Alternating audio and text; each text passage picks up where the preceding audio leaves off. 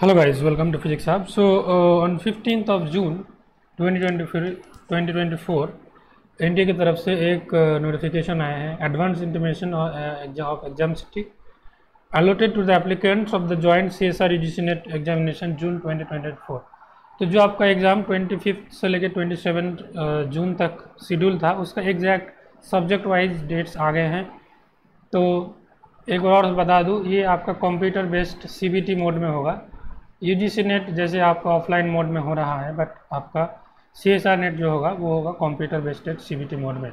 और अगर physical sciences की बात करें फ़िज़िकल साइंस की एग्ज़ाम होगी ट्वेंटी जून टाइमिंग क्या रहेगी? सिर्फ़ टू में होगा इस बार exam three P M to six P M इस टाइम फ्रेम में आप एग्ज़ाम दीजिएगा।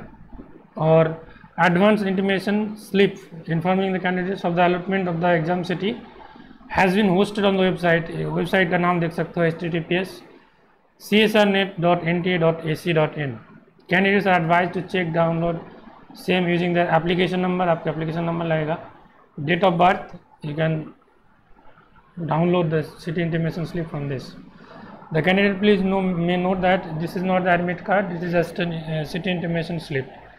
और कोई भी अगर आपको प्रॉब्लम आते हैं अगर आपका सिटी बहुत दूर दे दिया गया है या फिर जो आपको चाहिए था वो नहीं दिया गया है। रिमोट एरिया में दिया गया है तो you can raise an issue क्या पता इंडी आपका वो फाइनल एडमिट कार्ड में वो चेंज कर दे। इस नंबर पे कॉल कर सकते हो या फिर ईमेल भेज सकते हो इस नंबर पे। और गाइज़ जो लोग इस नेट एग्ज़ाम के लिए अपेयर कर रहे हैं, वो लोग, हम लोगों का फिजिक्स आपके टेस्ट सीरीज़ ज्वाइन कर सकते हैं। Test series on C S R net and you can give the full length mock test exam से पहले जिन लोगों ने मॉक टेस्ट दिया है, वो that they are very good और जिन लोगों ने नहीं दिया है एटलीस्ट दो तीन मॉक टेस्ट ज़रूर दीजिए। अभी जितना टाइम है, उस टाइम फ्रेम में दो तीन मॉक टेस्ट आप आसानी से दे सकते हो और देना भी चाहिए।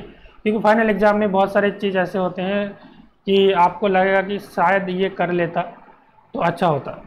तो आपको पता चल जाएगा कि कौन से पार्ट से शुरू करना चाहिए, कौन से पार्ट से शुरू नहीं करना चाहिए।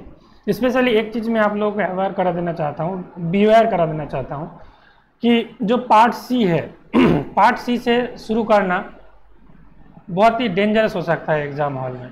अगर सब कुछ अच्छा गया, तब ठीक है बट थोड़ा बहुत अगर इधर उधर हो गया तो आपका कॉन्फिडेंस एकदम लो हो सकता है और आपका एग्ज़ाम ख़राब हो सकता है। तो पार्ट सी से शुरू करना उतना इंटेलिजेंट वाले काम नहीं होगा। तो आप ये सब चीज़ आप देख लेना टेस्ट सीरीज़ देखिए कि कौन सा पार्ट से स्टार्ट करना आपके लिए ज़्यादा सुटेबल है। Okay so this is just an information video regarding the exam date and as well as the information regarding the city intimation slip.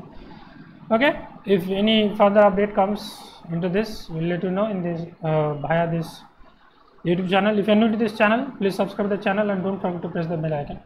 Finally thanks for watching